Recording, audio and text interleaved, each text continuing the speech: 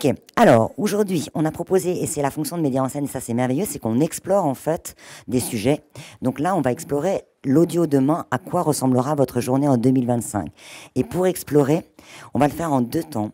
D'abord, c'est Nathalie Birochot qui préside l'IRCAM Amplify et qui donc forte de l'expertise de l'IRCAM que vous connaissez avec tous ces chercheurs qui travaillent sur l'audio et de son lien avec le monde de, de l'industrie, du business, des applications, va nous projeter dans notre journée. Alors en 2025, elle est peut-être qu'on va étirer jusqu'à 2027, euh, va nous projeter dans euh, finalement ce que moi j'ai appelé le métavers audio, mais on, va le voir ensemble. Et ensuite, pour euh, discuter, pour euh, préciser en fait cette vision, on sera avec euh, Mathieu Gallet, qui est directeur général de Magellan, président du conseil de ETX Studio, et comme vous savez, ce qu'on m'a posé la question tout à l'heure, donc nous travaillons ensemble, et donc chez ETX.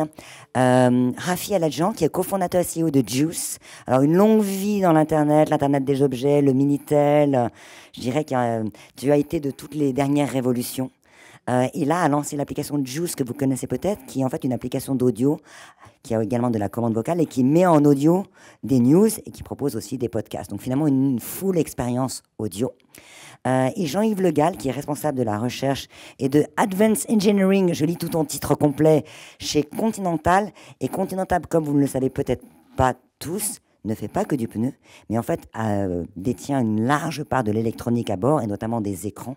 50% des véhicules à peu près sont équipés avec Continental et donc tous ces capteurs et ces écrans vont permettre aujourd'hui de remonter énormément d'informations et de délivrer l'audio personnalisé dont on va aujourd'hui parler. Allez Nathalie, je crains que sans tes images d'inspiration, mais grâce à toi qui va nous inspirer par ton flow, euh, on va se projeter dans le futur. J'avais prévu des, j'avais prévu des petites images pour vous faire voyager, mais je crois que nous avons été, euh, nous avons subi les, euh, les affres de la technologie. Alors c'est pas grave. D'abord, je vais vous demander de fermer les yeux de toute façon, quelques secondes.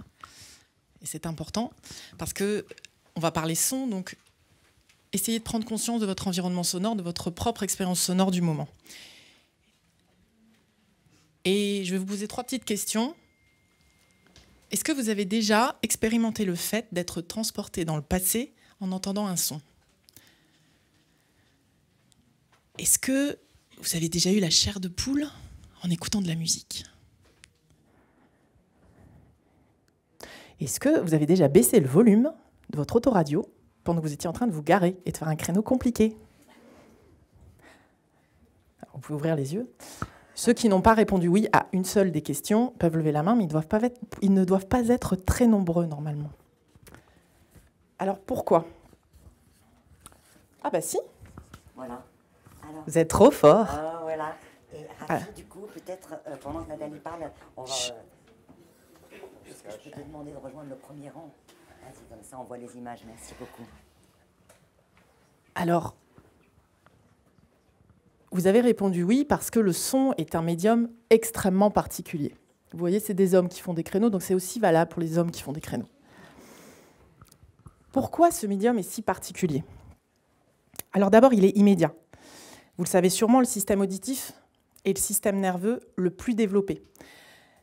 Il est immédiat, il est instantané. Le temps de transmission du stimuli au cerveau pour le son est de 50 millisecondes, alors que pour la vue, il est de 150 millisecondes. C'est le premier sens que vous développez, que nous développons dans le ventre de notre mère à 4 mois. Le fœtus entend déjà, il reconnaît la voix de sa mère ou de son père, il reconnaît les sons aigus. Le son est invisible, il est intangible, c'est une onde. Je vous invite à aller voir quand vous sortirez ce film fantastique de Nigel Stanford qui s'appelle Cymatics. Vous comprendrez complètement ce que je veux dire par là. Le son active la mémoire sensorielle. La musique guérit et réconforte. Vous le sentez, vous le savez au fond de vous. Mais elle nourrit aussi la mémoire épisodique, à travers laquelle on trouve des souvenirs très précis. Vous connaissez peut-être cette vidéo de cette ballerine qui était dans Danseuse étoile dans le ballet russe et qui aujourd'hui a Alzheimer, elle a 94 ans. Euh, quand on lui a mis la musique du lac des Cygnes, elle s'est remise à danser avec ses bras. C'est extrêmement touchant de revoir ça, de, voir ce film. Si vous ne le connaissez pas, vous pouvez aller le voir aussi. Le son est primitif quand peut-être certains d'entre vous ont vécu, en concert quand ils aimaient particulièrement l'artiste, des moments de transe, des moments où on est complètement habité, où on, sort de notre corps. Eh bien, sachez que la zone du cerveau qui est activée dans ce moment précis est la même que celle qui était activée quand nous étions des hommes et des femmes de la préhistoire et que nous étions dans un réflexe de survie. Bienvenue.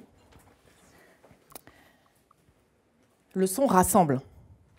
Le son rassemble. C'est un vecteur de connexion émotionnelle extrêmement puissant entre les humains. Et il rend heureux. Il rend heureux, il est universel. Il parle à tout le monde. On n'a pas besoin d'éducation pour ressentir le son. Un enfant, une vieille personne, quelle que soit la culture, quelle que soit la religion, bien entendu, en dehors des personnes qui ont des, handicaps, ressentent le son. Et les, les récentes recherches en psychoacoustique euh, ont démontré et démontrent de plus en plus le lien entre l'écoute de la musique et le niveau de euh, neurotransmetteurs diffusés dans le corps humain. Une fois qu'on a dit tout ça, où est-ce qu'on en est?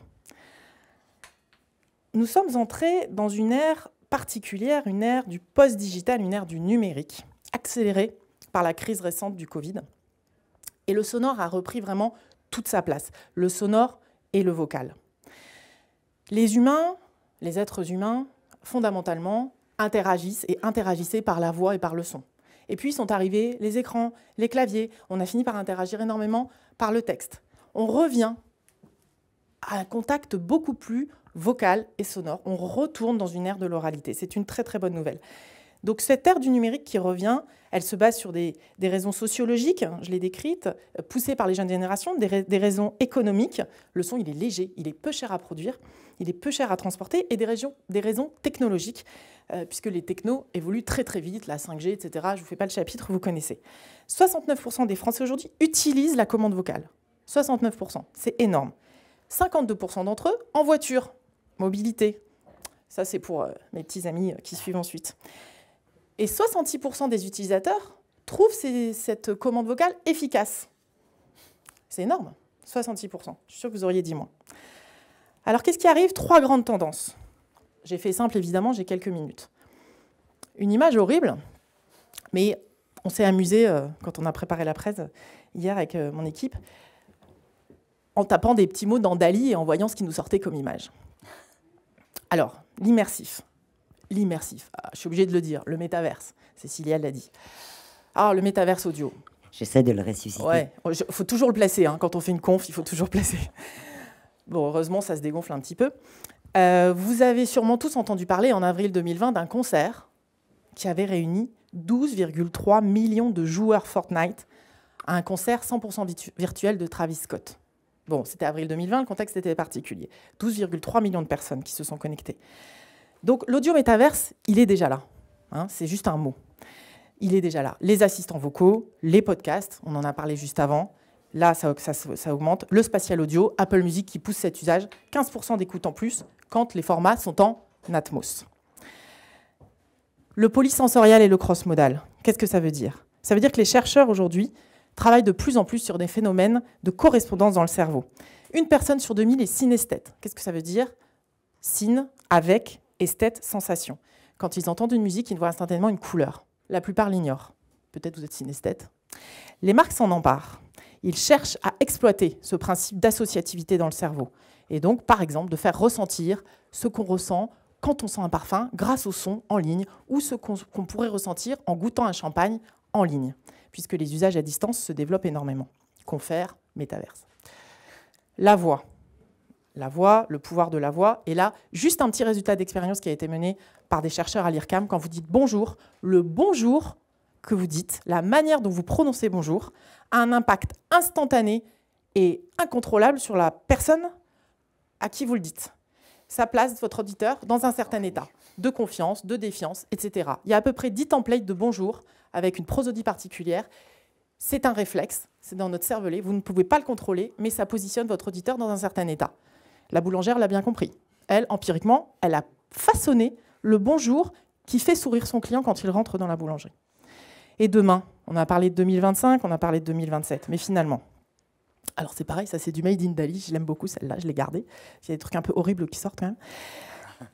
La bulle sonore. La bulle sonore est l'interaction avec quelque chose qui est intangible, impalpable. Cette bulle sonore, finalement, pour la concrétiser, Essayez de penser à un compte Google. Vous avez tous un compte Google, ou peut-être peut-être presque tous. Il vous suit, il vous connaît, il apprend de vous, il apprend de vos expériences. Cette bulle sonore, eh bien peut-être que dans 5 ans, 10 ans, ça sera quelque chose de très personnel qui nous suivra dès la naissance, qui nous connaîtra, qui connaîtra les sons qui nous calment, les sons qui nous énervent, les concerts qui nous ont particulièrement excités, ceux qu'on a détestés, etc., etc. Elle sera intime, elle sera contextualisée, bien sûr, et ça donnera quoi dans la vie de tous les jours? Ça donnera un compagnonnage entre l'homme et la machine. En tout cas, moi j'y crois beaucoup, on y croit beaucoup chez IRCAM Amplify. Et la technologie, les contenus, elles sont là, ils sont là pour construire des expériences qui enrichissent les, euh, sentiments et les émotions de l'être humain. Dans, en voiture, en mobilité, ça donne quoi? Je m'assois dans ma voiture, je lui parle. Je lui parle, elle me reconnaît, elle comprend rien qu'à ma voix comment je me sens. Est-ce que je suis fatiguée aujourd'hui? Est-ce que je suis stressée? Est-ce que je suis malade? Est-ce que mes enfants sont dans la voiture ou pas? Je m'assois et je lui dis j'ai extrêmement mal à la tête, là j'ai eu vraiment une journée de merde, j'ai besoin de verre, j'ai besoin de forêt, calme-moi, je récupère les petits dans un quart d'heure. La voiture, elle va être intelligente, elle va comprendre. Je parle d'une voiture, ça pourrait être un smartphone, un assistant vocal, des lunettes. En fait, on s'en fiche. Une montre, hein, vous avez compris. Pour conclure, aujourd'hui, évidemment, enfin je dis évidemment, peut-être que vous ne le savez pas, j'en sais rien, il y a plus d'objets connectés sur Terre que d'êtres humains. Combien d'objets connectés à votre avis? 30 milliards. Plus 20% chaque année. C'est vertigineux, ça, fait très peur. Hein. À l'époque de la sobriété, c'est vrai que ce n'est pas, un truc évident à, absorber. Il y a 8, millions, 8 milliards d'installations d'assistants vocaux qui sont estimés en 2023. 8 milliards d'installations. Donc c'est un enjeu de société énorme, c'est là, il ne faut pas en avoir peur. La technologie est là aussi pour accompagner ces usages-là. Et l'enjeu, il est aussi dans les mains de ceux qui produisent des contenus. Voilà. Donc je, vais... je pense que ça mérite... Euh, passer la parole. Alors, et en rebond, je voudrais bien un grand bonjour collectif là pour qu'on se mette dans la bande onde. Attention, vous êtes prêts? Bonjour. Waouh, on est bon. On est très très bon. Mourouzi. Voilà. ah bah c'est moi, j'ai toujours eu du Mourouzi en moi. Alors là, on, vous a plongé, et merci beaucoup, hein, vraiment Nathalie, on vous a plongé en fait dans l'avenir, donc dans cette potentielle bulle sonore avec toutes les ramifications, euh, euh, toutes les ramifications émotionnelles en fait de l'audio en nous. Et là, nous, on va l'explorer à travers quelques sujets qui sont aujourd'hui ce qu'on se dit sur l'avenir, qui est la personnalisation. Est-ce qu'on va vraiment vers de la personnalisation de l'audio? L'audio en mobilité, on en a parlé parce que c'est finalement un moment où en fait on est disponible pour l'audio et où on est en train de faire quelque part autre chose. Donc l'audio est vraiment le média de la mobilité. Euh, des commandes vocales partout. Est-ce que la commande vocale va vraiment s'installer? Interaction ou pas interaction Des voix humaines ou des avatars Et enfin, quel business model Tout ça en une demi-heure, mesdames et messieurs, donc ça va être très impressionnant. Et donc, on va lancer tout de suite sur la, personnalisation. Alors, la personnalisation, là, c'est un fantasme aussi de, quelque part, de marque, de marketeux, qui est, à un moment donné, on va savoir exactement qui tu es et on va t'envoyer exactement le bon contenu. Alors, on y croit? Rafi? Fatalement. Hein? Fatalement? Alors vas-y, raconte-nous, parce qu'on en a parlé, euh, donc, parce qu'il y a des degrés de personnalisation. donc nous, ce qu'on fait chez Juice, c'est construire une espèce de, radio personnalisée pour chaque utilisateur dans lequel euh, les contenus s'agencent, se composent euh, de, manière dynamique et en temps réel pour chaque utilisateur. Mais la, personnalisation, en fait, elle se fait à différents niveaux. le premier niveau de personnalisation, c'est euh, qu'est-ce que je vais trouver dans mon flux, quels sont les sujets qui m'intéressent, euh, etc. Et, même de ce point de vue-là, il y a deux types de personnalisation. Il y a la personnalisation positive, c'est-à-dire celle dans laquelle je vais dire je suis intéressé par la culture, la politique et, euh, je ne sais pas moi, le, hockey sur glace. et, et, la personnalisation négative, c'est-à-dire que je vais écouter toutes les opinions, tous les contenus, etc. Euh, et je vais dire, ben, en fait, ça, j'aime pas. C'est pas la même chose de dire qu'est-ce que j'aime, mais que, que de dire ce que j'aime pas. Ça, c'est le premier niveau, le niveau zéro de la personnalisation, c'est avoir quelque chose dans lequel je filtre tout ce que je n'aime pas. Le, deuxième niveau, c'est de, de, de, doser ces contenus euh, euh, selon les, euh, ce que je, préfère. Nous, dans Juice, on met de la musique, des podcasts, des news, etc. Les, gens ont une table de mixage et disent, je veux beaucoup de musique et un peu de contenu. C'est un peu comme si vous composiez votre propre radio. Sur France Inter, vous avez de la musique une fois toutes les 20 minutes. Sur Énergie, vous avez de la musique pendant, 80, pendant 50 minutes avec 10 minutes de parlotte, c'est vous qui faites le, mixage. Tout ça, c'est encore facile. Euh, là où ça devient plus tricky, c'est que euh, les messages eux-mêmes, ceux dont, on, ceux dont vous parle, vont être les messages vont être personnalisés pour vous.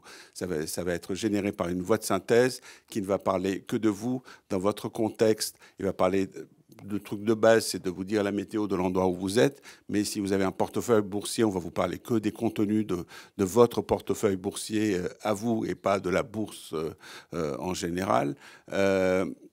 On va vous rappeler les rendez-vous d'agenda que vous avez et la météo qui va faire à ce, moment-là. C'est des choses qui sont très, très personnelles.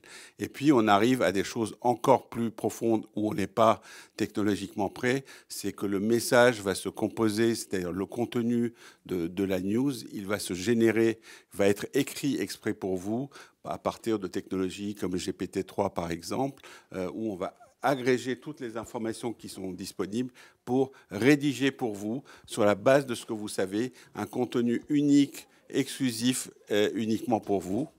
Ça, c'est le, stade presque ultime. Le, stade ultime étant la même chose, mais avec la coloration idéologique qui vous va bien.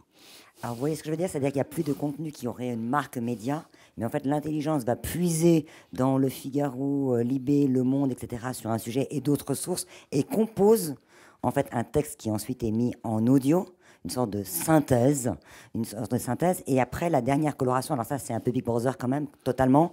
La dernière, la dernière couche serait qu'en plus, on, est, on sait que vous êtes sensible à la façon quand c'est écrit plutôt comme ça, avec des formules un peu imagées. Et en fait, on vous sert ce texte, plus une idéologie plutôt conservatrice, et on vous sert cette même base d'information dans l'angle et votre pente naturelle en quelque sorte.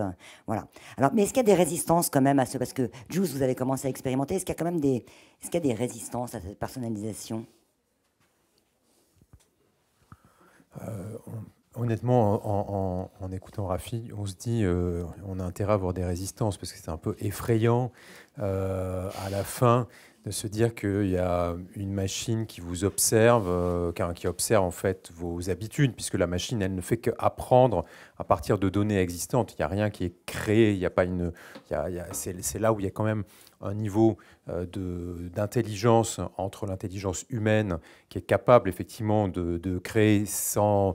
Alors, avec des, on a tous des bases, bien sûr, de, de de, contexte, euh, de connaissances, mais la machine, elle, elle n'est qu'apprenante. En fait, c'est plus elle apprend et plus elle, on lui permet effectivement de raffiner. Mais les deux dernières étapes, euh, la dernière étant euh, vraiment affreuse, mais même l'avant-dernière, je trouve, est quand même quelque chose qui, en tout cas, si c'est ça 2025, je pense que je vais aller vous, je vous quitte, je vais aller retourner.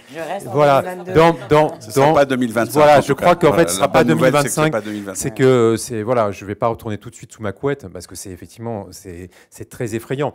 Moi, je crois que sur la personnalisation, on cherche tous dès qu'on est une plateforme. Et Magellan, c'est une plateforme audio. Le nom était là pour euh, justifier justement l'idée de la recherche et l'idée de trouver quelque chose effectivement qu'on cherche sans connaître exactement la voix, la voix euh, avec, un, avec un E.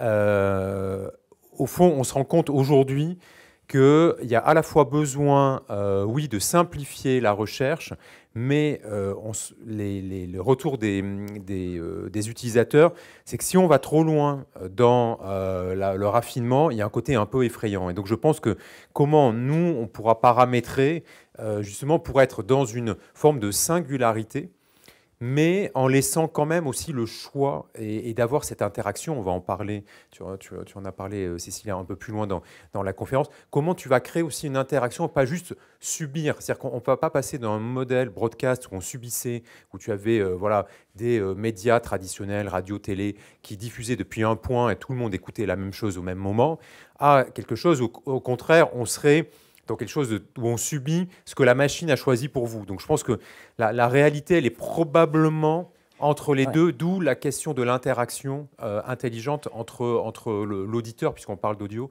et, et la machine intéressant. On, passe d'un de, de, choix éditorial que Mathieu dit on subit à un choix, euh, en fait, à, se subir soi-même, c'est-à-dire algorithmiquement on est défini. Donc c'est plus l'effet de la raison ou de la curiosité. On est défini algorithmiquement parce qu'on a fait avant, et en fait on subit cette espèce de reproduction du passé qui devient son futur.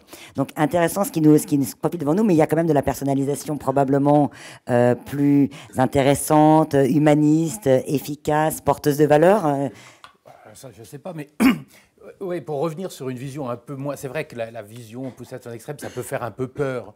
Mais il y a un mot qui n'a pas été euh, dit, parce qu'on a parlé de recommandation, d'agrégation, qui est super important. Un mot qui n'a pas été dit, c'est juste la contextualisation. Être capable de personnaliser un contenu en fonction de la compréhension d'une situation particulière. Et là, c'est beaucoup moins intrusif d'un point de vue personnel. C'est juste savoir que ben, euh, vous prenez votre voiture et puis vous engagez sur un trajet qui va durer un quart d'heure ou deux heures. Ça peut peut-être amener des choses euh, différentes. Est-ce que vous êtes tout seul ou, euh, ou à plusieurs dans la voiture? Ça peut amener aussi des, ou suggérer des propositions différentes. Et il y a plein de choses comme ça que la voiture maintenant qui est un peu une forme de, capteur sur roue, va permettre d'apprendre et, d'utiliser pour formuler des recommandations euh, adaptées au contexte. Donc ça, c'est un sujet sur lequel nous, on travaille beaucoup et qui va de pair avec l'autre chose qui était un peu effrayante, mais qui est très intéressante quand même, qui est la notion d'agrégation. Surtout en voiture, puisque c'est un peu ce dont on s'occupe nous. En général, dans le smartphone, on disait euh, un usage, une app. En voiture, l'usage, c'est la conduite. Donc on est obligé de tout ramener et d'agréger ça, effectivement. Et alors, une vision qu'on avait, qu'on a commencé à travailler sur ces concepts-là il y a assez longtemps, c'était de dire, il ben, faudrait réussir à faire en sorte qu'on dise, ben, à la fin de la chanson, vous sortirez de l'autoroute ou euh, vous allez tourner à gauche ou à droite. Donc là, c'est vraiment une, une agrégation, une intégration de contenus de nature complètement différente manière à créer une synthèse et, ce qui, est l'expérience utilisateur du, de l'audio. Alors, donc c'est personnalisation versus, qui n'est pas tout à fait la même chose, contextualisation. Mon contexte, c'est celui-là. Ça ne vient pas chercher dans mon intimité ou ce que j'ai fait avant, mais plutôt dans ce que je vis présentement. Tu voulais réagir? Oui, je voulais réagir. Et pour revenir en fait sur cette notion de, de personnalisation euh, positive contre personnalisation négative.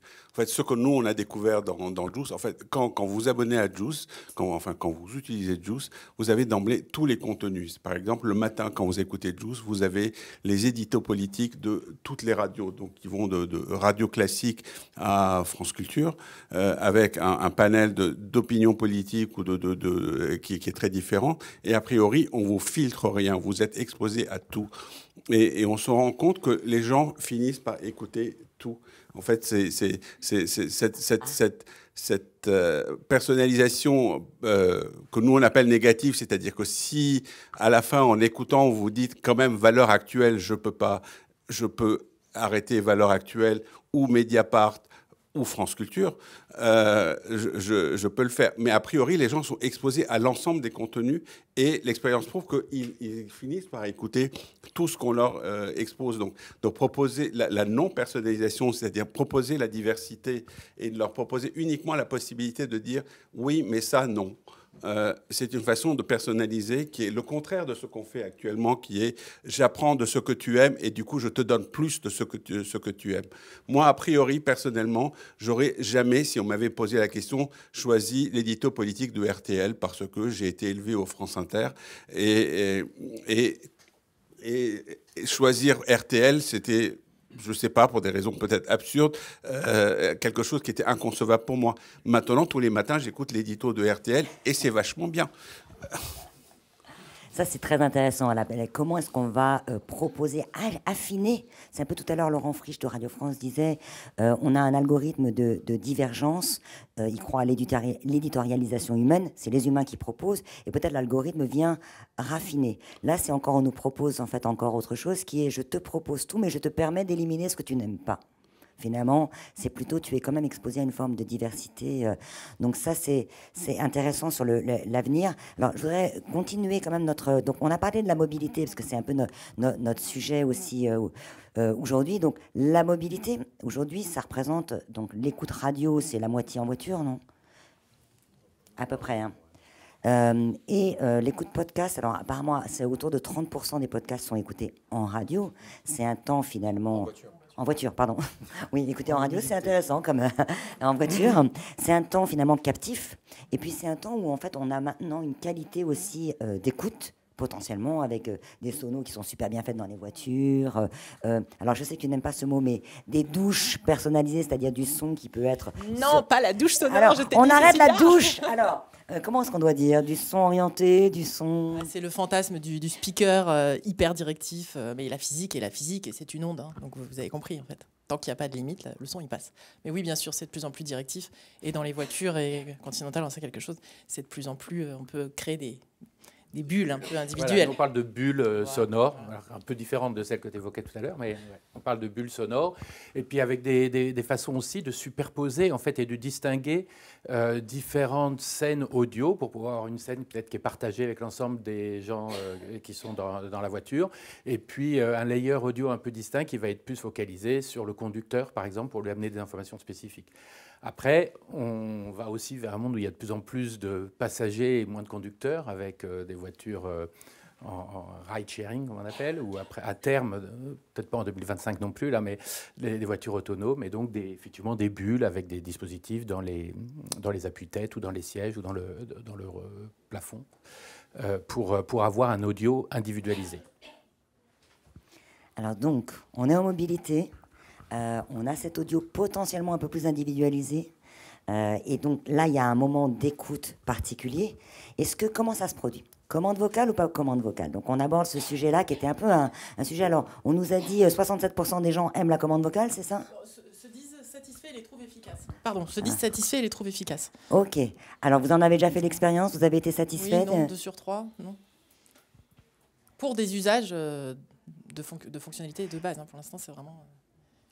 Qu'est-ce que tu appelles les usages de base en fait? Alors enfin, de ce que j'en sais, mais je ne suis pas la seule à pouvoir intervenir sur ce sujet euh, dans ce panel. C'est euh, cette étude-là euh, explique que globalement, les usages par la voix sont des usages de, de, de, choix d'un contenu ou des usages de, de, fonctionnalités basiques. C'est pas, c'est un peu péjoratif. Oui, ça lance, ça lance une radio, ça, donne alors justement. Je, vais revenir sur ça parce qu'effectivement, la notion de définir qu'est-ce qui est simple est, important. Parce que pendant très longtemps, là aussi, je, je reviens à ce que je connais un peu plus, qui est le, monde automobile. On avait ce qu'on appelait du command and control, donc des, commandes de base euh, faites euh, à la voix. Et ça, on n'était pas du tout à ce niveau-là d'adoption. Tout le monde a ça dans la voiture, personne l'utilisait. Parce que entre dire euh, mets un CD ou mets plus fort, on a beaucoup plus vite fait d'appuyer sur, sur un bouton que de le dire à la voix.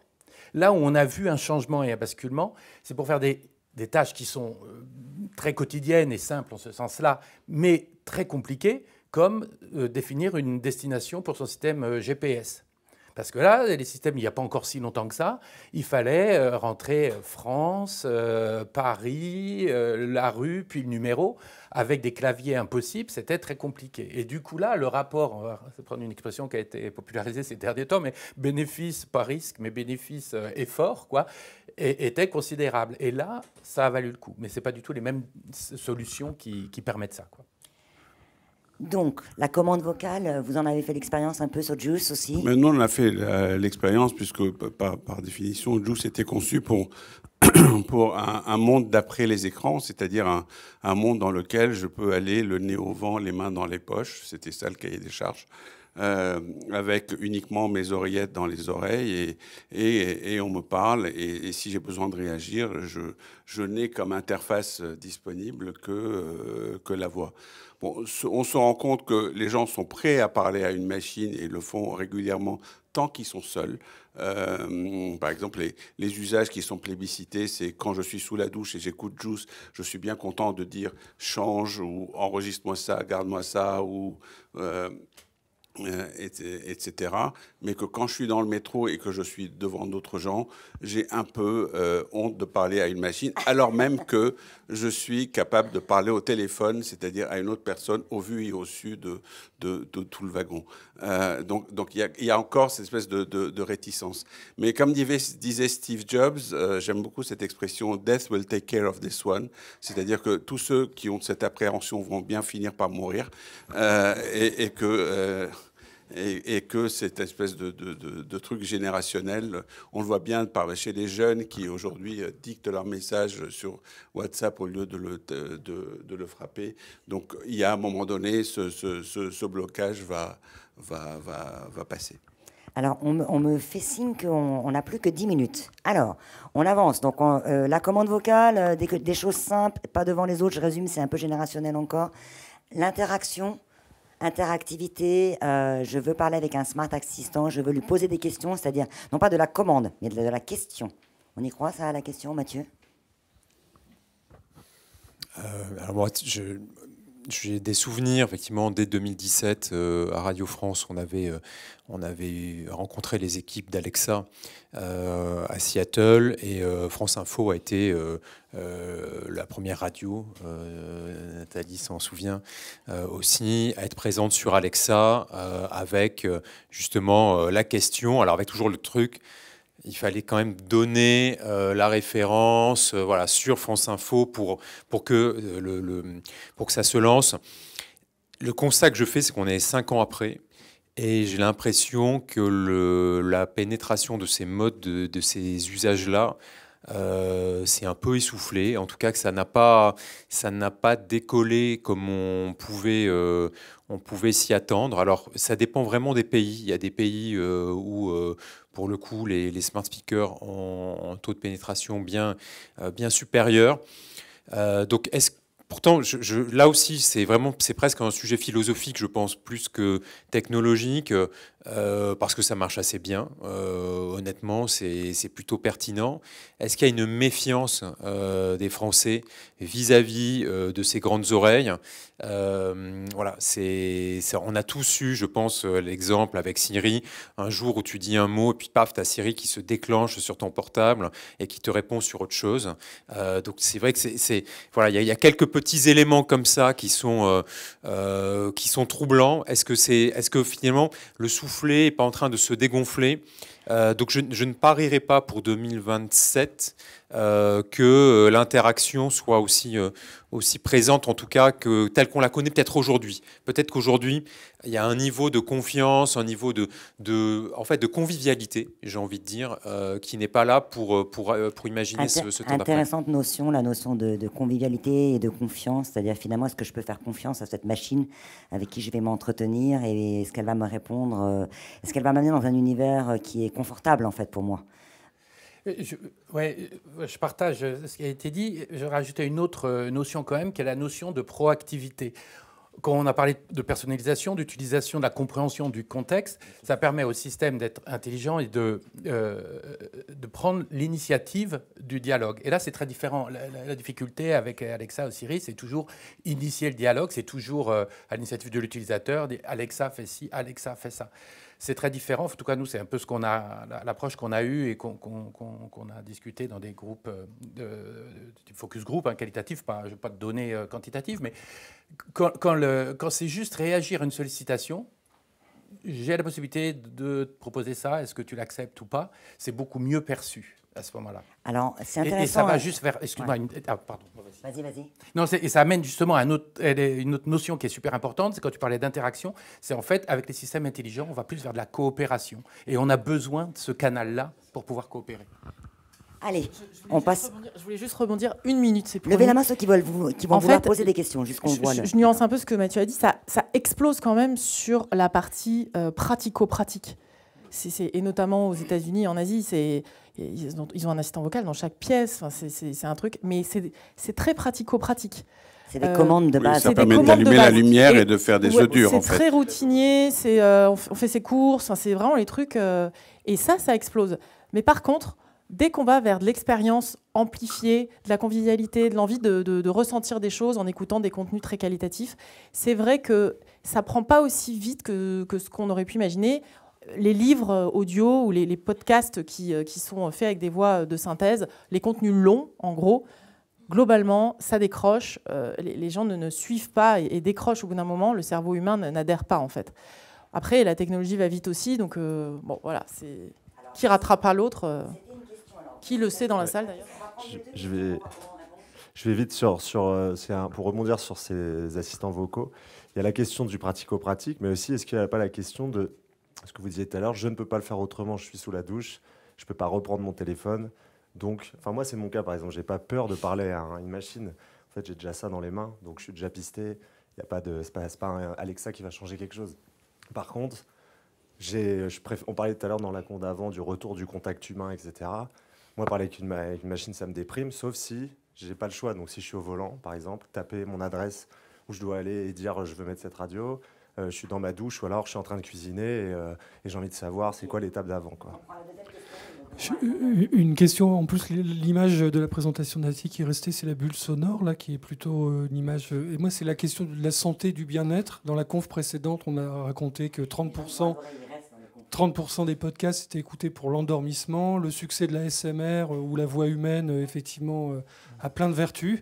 Et ça, c'est est-ce que c'est un sujet euh, sur lequel euh, voilà, chacun vous travaillez bah, Sur la méditation, je ne sais pas si vous en avez parlé au, à la, conf d'avant, mais sur Magellan, on a fait le choix il y a deux ans maintenant d'avoir toute une, une, offre de méditation parce qu'on a vu effectivement qu'à partir, je crois, après 22 heures, euh, tous ces contenus-là, c'était un tiers de, de, nos écoutes parce qu'effectivement, il y a cet aspect positif du son, euh, voilà, sur la fatigue, sur l'aide. Enfin, il y a eu plein d'études neurologiques euh, sur ça, sur la façon, effectivement. Donc, ça vous accompagne sur la production euh, voilà, d'hormones qui vous aident à, à, dormir et tout ça. Donc, oui, c'est un des aspects positif euh, aujourd'hui. C'est pour ça qu'il y a une, offre en termes de méditation qui est très importante maintenant sur Spotify, sur toutes les grandes plateformes, en plus des, euh, des offres dédiées et Petit Bambou qu'on connaît bien en France et d'autres. Alors hélas, on a épuisé notre créneau. Par contre, on, va être là dans le couloir là si vous voulez poser vos questions avec les intervenants. Euh, ce qu'on retiendra donc, c'est contextualisation, proactif. Enfin, il y a des il y a des notions qui sont en fait à affiner dans la façon convivialité. convivialité. Euh, et, euh, et, bien-être lié à l'audio. Et donc, c'est peut-être ça, en fait, l'audio du futur, et notamment l'audio en mobilité. Merci beaucoup, merci à tous. Merci, merci à tous.